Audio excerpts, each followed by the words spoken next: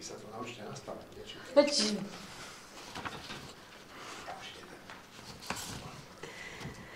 Dobrý deň, dámy a páni. O Kaliňakových výmysloch budú dnes na tlačovom briefingu hovoriť e, poslankyňa za hnutie Obyčajní ľudia, nezávislé osobnosti Veronika Remišová a poslanec za stranu Sloboda a Solidarita Ľubomír Gálko. Nech sa páči, Veronika Remišová.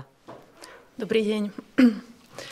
15. júna tohto roku sme spoločne s kolegom e, Ľubomírom Galkom e, podali podnet na výbor pre nezlučiteľnosť funkcií, kde sme upozornili, že pán Kaliňák v rokoch 2013, 2014 a 2015 neuviedol v majetkovom priznaní ani pôžičku, ktorú získal od Tatrabanky, ani pohľadávku voči firme BA House, ktorú kúpil od Ladislava Bašternáka v čase, keď kriminálny úrad finančnej správy preveroval jeho možné daňové podvody.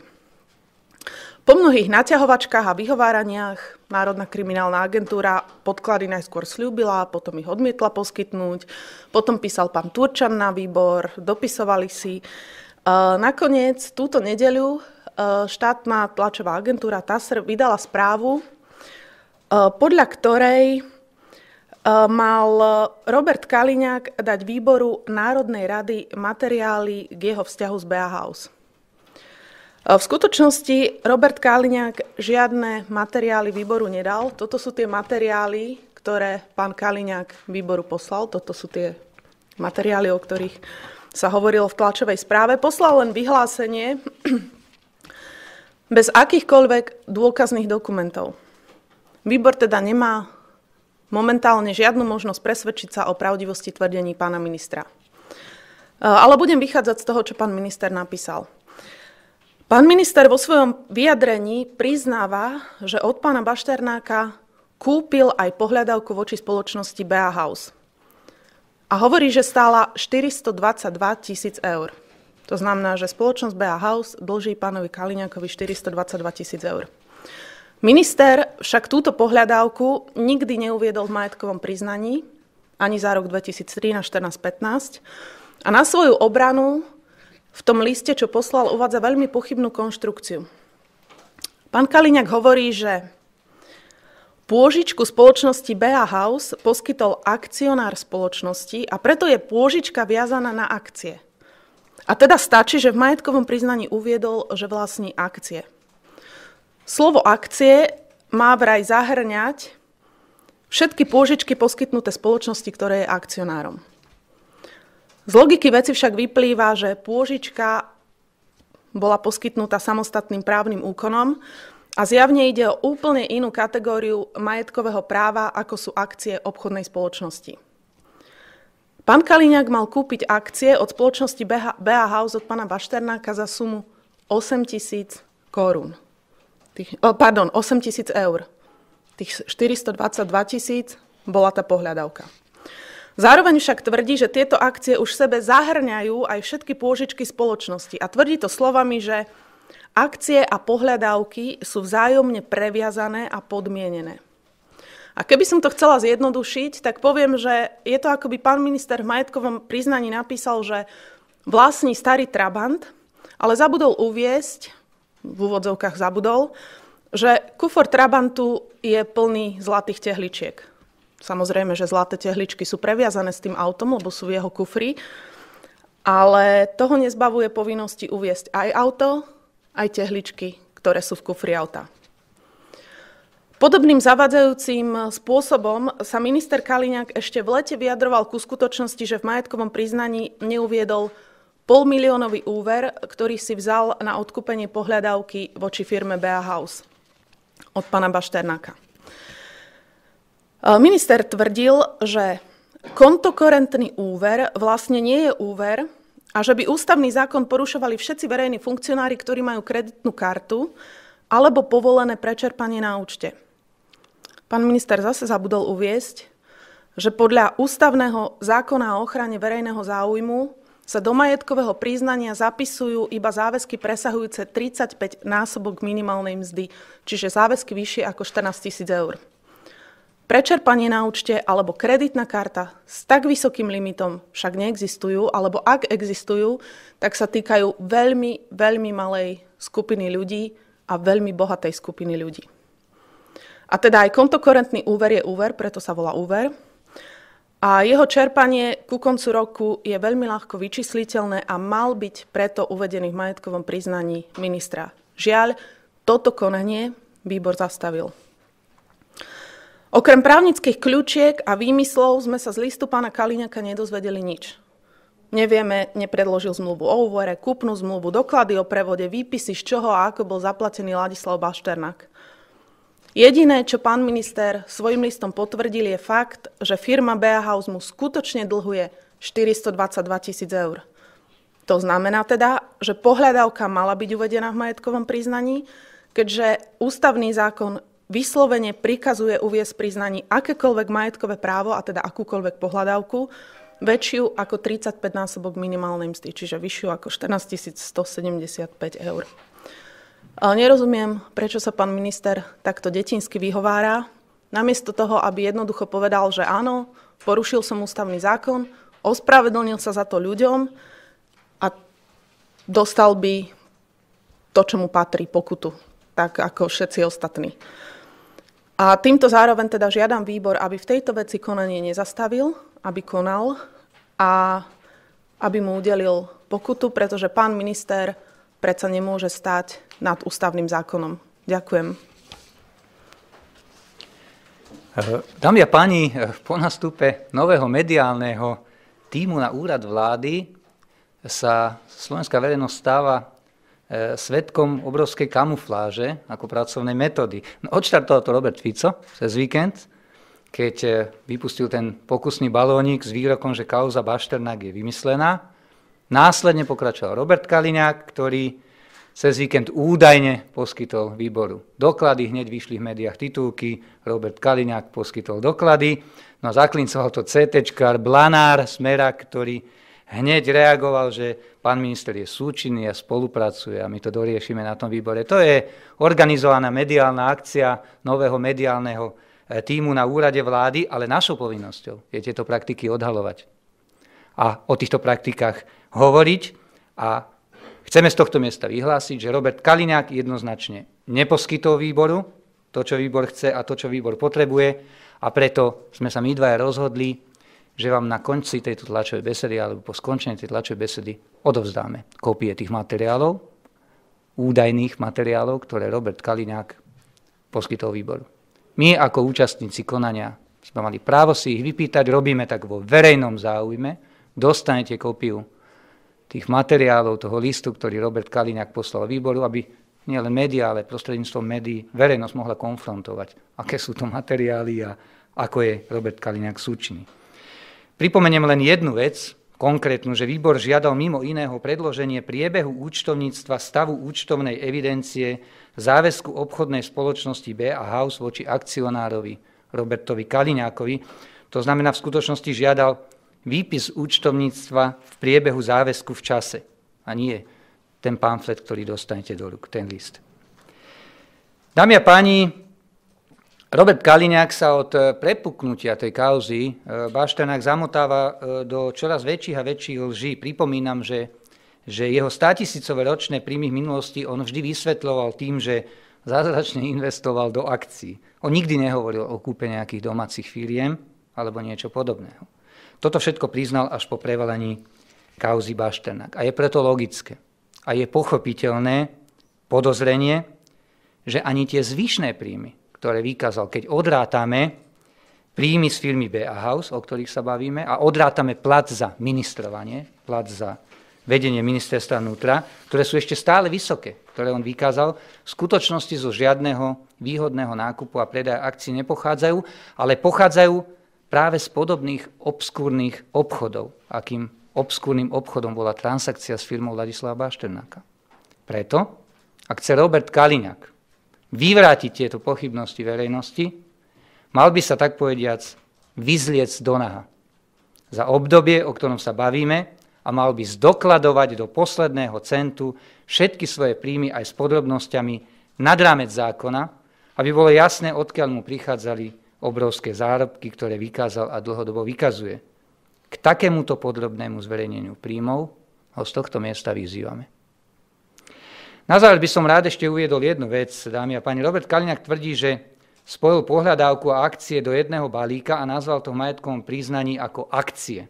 Dokonca naznačuje v tom svojom liste, ktorý dostanete, že keby to neurobil a nechal by akcie len v kúpnej cene, nemusel by deklarovať ani to. Takže on vlastne hovorí, že išiel nad rámec zákona. A tým pádom naša požiadavka, aby sa tak povediať vyzliekol do naha, je absolútne pochopiteľná a legitimná. Dámy a páni, aj na majetkových príznaniach Roberta Kaliňáka vidno, že sú nedokonalé, a umožňujú členom vlády ukrývať svoj reálny majetok, to bol zdroj, ako k, ním, k, tým, k tomu majetku prišli. Táto nedokonalosť nie je žiadna náhoda, je to úmysel. Je to výsledok korupčného systému, ktorý na Slovensku vládne na najvyšších miestach. Preto sa strana Sloboda a Solidarita zasadzuje aj spolu s hnutím obyčajní ľudia nezávislé osobnosti, zasadzuje a aj sa zasadíme o jeho radikálnu zmenu a bude sa to týkať aj majetkových príznaní. A aj preto treba skoncovať s vládou Smeru. To je absolútna a kľúčová podmienka očisty verejného života. Ďakujem pekne. Nech sa páči priestor na otázky. Jana Kresťanko, Dybaková televízia. Joj, pán Galko, ak je toto kamufláž, ako to podľa vás bolo naozaj? No, ja si myslím, že e, to, ako to bolo naozaj, sa Eh, raz určite verejnosť dozvie, nedozvieme sa to teraz, nedozvieme sa to ani zajtra na výbore a nie som tu na to, aby som vznášal nejaké nepodložené obvinenia. Môj osobný názor mi hovorí, že to bol proste nečistý špinavý biznis, ktorým Robert Kaliňák jednoducho určitým spôsobom dostal peniaze, ktoré dostať nemal. Podľa môjho názoru konal v konflikte záujmov, podľa môjho názoru konal dokonca protizákonne a bude potrebná zmena vládnej garnitúry, aby sa toto vyšetrilo, ale pre mňa je najsilnejšie, taký, takým dôkazom, alebo najsilnejším tým poznaním je to, že akým spôsobom on v celej tej kauze postupoval. Že vlastne novinári ho museli dotlačiť do toho, aby on vôbec priznal. Veď si spomeňme spoločne, že ako to začínalo. Najprv nepoznal žiadneho Bašternáka, potom tvrdil, myslím, že Jozef Reiter sa ho verejne v parlamente spýtal, či dostal vôbec nejaké peniaze na účet hej, od Ladislava Bašternáka alebo nejakej firmy, kde on figuroval, tvrdil, že nie. Však to povedal na kameru, povedal to v rozprave. Následne on priznal, vlastne vyšiel čiastočne s farbou von až vtedy, keď e, asistent Jozefa Rajtara Filip Líbanič urobil ten čin, ktorý, ktorý keby neurobil, tak dneska tu ani nestojíme. O ničom by sme nevedeli. To znamená, e, tie postupné kroky Roberta Kaliňaka, ako sa on k tomu staval, ako to z neho išlo ako z chlpatej deky, vo mne vlastne zosilnieva presvedčenie, že jednoducho to nie je čisté. A keď si zoberete aj, aj spôsob tohto listu, lebo ako by to urobil Robert Kaliňák, keď bol čistý? On by si zavolal vás na tlačovku a tam by vám tie doklady rozdal.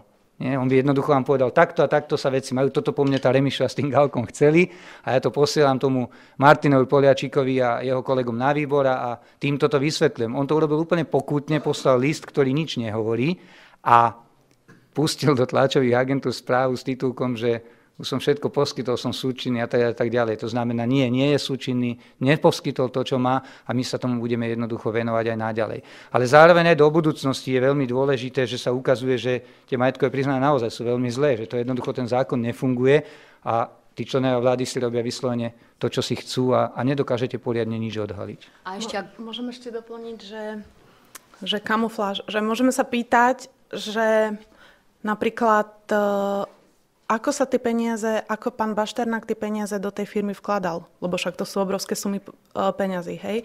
Cash? Alebo nejako ináč? Nejakým prevodom? Dobre.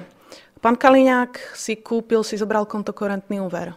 Niečo musel založiť, nejaký majetok v tej banke kontokorentný úver, ja neviem, ja nie som taký solventný klient, ale uh, musíte založiť, dostanete len 70% z toho, čo založíte, alebo 60%. Teda čo založil a odkiaľ mal tie peniaze, alebo ten majetok, ako ho získal, ktoré ďalšie akcie má.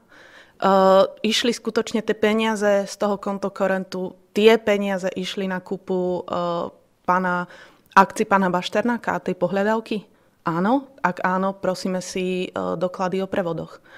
Toto znamená uh, odkrytie všetkých majetkových vzťahov. Nie to, že pán Kaliňák napíše nejaký zahmlievací list s vymyslami. Ja ešte by som, ja ešte by som doplnil, ešte jednu vec by som chcel povedať. Viete, že vôbec, ale nielen pri Robertovi Kaliňákovi, ale ich je viacej. Je tam napríklad aj minister Žiga, a proste niektorí ďalší e, ministri za smer, ktorým sa zázračne začalo dariť, keď nastúpili na ministerstva. To je, to je podľa mňa úplne šialené, aby vám takýmto spôsobom zrazu začali vzrastať príjmy niekoľko stonásobne ako predtým. Ja som ministrom bol. A ja viem, čo to obnášalo. Však som bol od rána do večera, som bol v práci ešte aj cez víkendy a nemal som čas sa venovať pomaly ani rodine. A vy keď si pozriete majetkové priznania Roberta Kalina, ale nie len jeho, tam sú asi traja alebo štyri, aj napríklad minister Kažimír je taký. Hej, že zázračne im začali vzrastať príjmy podľa ich majetkových priznaní, keď sa stali ministrami. Ako to stíhajú? Kedy to stíhajú sa zrazu venovať tým svojim firmám? Zrazu zázračne tie firmy začnú prosperovať, darí sa im pri obchodoch s akciách. Preto ja tvrdím, že to je kamufláž. Kamufláž je to, keď sa snažíte u verejnosti prostredníctvom médií vyvolať dojem, že ste poskytli niečo, čo ste v skutočnosti neposkytli. Že ste súčinní, keď súčinní nie ste. Že ste kooperatívni, keď kooperatívni nie ste. A že ste poctiví, keď v skutočnosti ste obyčajný podvodník. A ešte, ak dovolíte z politického hľadiska, ak tvrdíte, že Robert Fico podľa tých posledných vyjadrení nevidí žiadny problém v, v tom, čo sa deje okolo ministra Kaliňáka, nemá potom dôsledná opozícia podať návrh na vyslovenie nedôvery predsedovi vlády? Ďakujem. Uh, je to na zváženie, lebo na jednej strane ten inštitút uh, odvolávania či už uh, ministra alebo predsedu vlády je dobrý a treba ho využívať. Na druhej strane treba s ním narábať uvážlivo, aby sme to nedevalovali. To znamená, že e, iste treba sa o tom rozprávať, treba sa o tom radiť, ale v prvom rade si treba samozrejme uvedomovať parlamentné počty a hlavne treba prihliadať na to, akým spôsobom sa k tým kauzám stávajú koaliční partnery Smeru. Hej, to vidíme, že akým spôsobom oni bránia teraz už pomaly vlastným telom aj Roberta Kaliňáka, aj Roberta Fica a treba naozaj veľmi zodpovedne s týmto inštitútom narábať, aby sme, aby sme ho nedevalovali. Čo ja vidím ako dôležité a preto sme urobili aj dnešný briefing, preto sme včera rozprávali o, o tom víkendovom vyjadrení Roberta Fica. Čo, v čom ja vidím takú zodpovednosť nás ako opozičných politikov je pracovať na tom, aby tá kauza nezaspala. Nie len táto kauza, ale aj ani ďalšie kauzy, lebo vidíte, že my keby sme chceli, my pomaly každý deň tu musíme niečo riešiť, lebo včera zase sa na ministerstve zahraničných vecí podľa nášho názoru dosť vážna vec prevalila. Čiže každý deň je niečo a našou povinnosťou je e, neustále robiť kroky preto, aby sa na, tú, na tie kauzy nezabúdalo, aby jednoducho ten volič na to nezabúdal. A toto je ten jeden prípad, čak my sme kedy, Veronika, dali ten podnet? 15.